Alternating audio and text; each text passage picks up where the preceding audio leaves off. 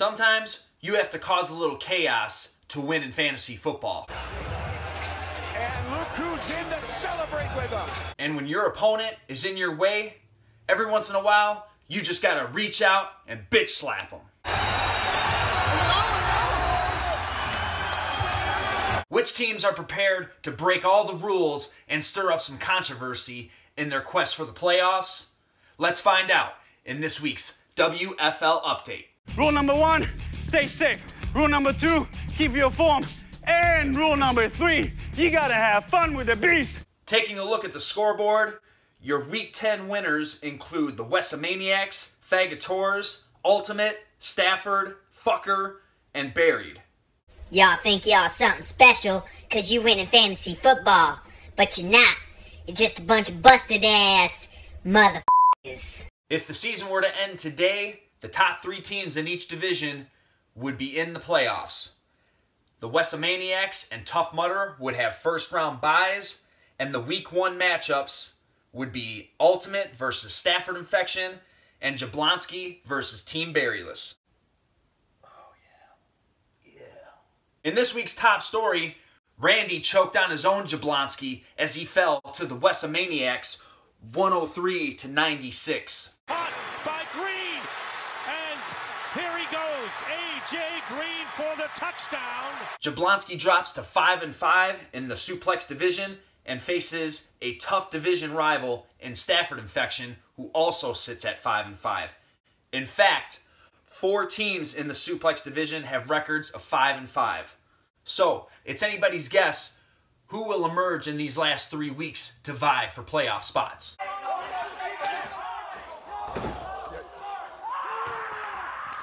Our beast of the week, once again, is the seemingly unstoppable Tough Motherfucker. Goal from the five on the toss. It's Kamara, and he is in for a touchdown. Mudder continues his reign of dominance over the entire league and earns his third straight high points performance. With a win this week, Fucker can earn a division title and lock up a first round bye in the playoffs. Now, Nick, you had your fun and your early success, but now I'm going to need you to chill out. Mudder's Week 11 opposition comes in the form of Casino Teceno, who dropped his Week 10 matchup against Buried Sanders. Play action from Goff. Goff, deep ball. Robert Woods, he's got it. Robert Woods, he is gone. Touchdown. In our featured matchup for Week 11, Buried Sanders will look to dig up a playoff spot as he takes on Zeppelin's Minibar in a clash of 5 and 5 suplex division teams. A victory places either team in solid standing for a playoff position. Which one of these teams will have the secret weapon for victory this weekend? We don't need the license here because we got the weapons, the secret weapons, right there. This week's feel good story is the Detroit Fagators, who managed to jump from the bottom spot in the league to the number 10 seed with a victory over Zeppelin. Fagators still have a chance to sneak their way into the playoffs, but will face ultimate competition this week. Now you must deal with the creation of all the unpleasantries in the entire universe! The Ultimate Team came alive in Week 11 thanks to a ruthless performance from Todd Gurley. Gurley, one cut and go. Gurley, Ultimate will look to add some muscle this week and solidify their playoff spot. As I feel the injection from the gods above, I only know that the Ultimate Warrior is totally out of control! Ultimate coming off a Week 10 shredding of the Cardiff Giants. Awesome. He's loving it. He's feeling his abs because he knows when he's lifting his shirt, they're gonna see shredded abs ripped to the bone.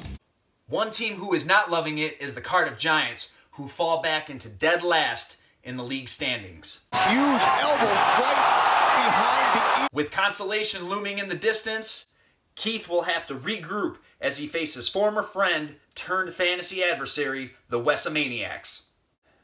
The Wesamaniacs have a solid grasp on first place in the Body Slam division, but an upset from the Giants could put that title in serious jeopardy. Will Keith put Wesamania's division title dreams on hold, or will the Wesamaniacs slay the Giants for good? professional athlete in the world today. Look at this. He's In another Body Slam division matchup, Team Barryless will take on King in the North. Both teams are coming off losses in week 11. Barryless fell to Stafford infection. Away, fires on the run, it is caught! Unbelievable! It's like glue on his hands from Thielen.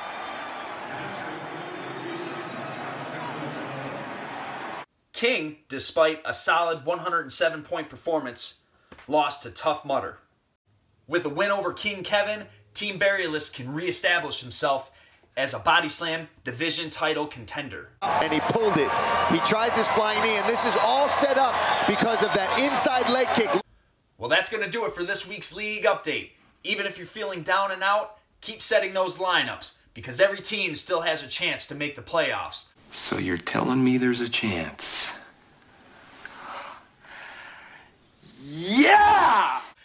Keep saying your prayers, taking your vitamins, making wise choices, and let's get ready to play. Who's ready to play? Who's ready to play? You guys, I know you guys. I'm with you all the way. Come on, baby. Wesamania is running wild, Jack. Don't want that. Taking a look at. Uh, you've had your fun, your early.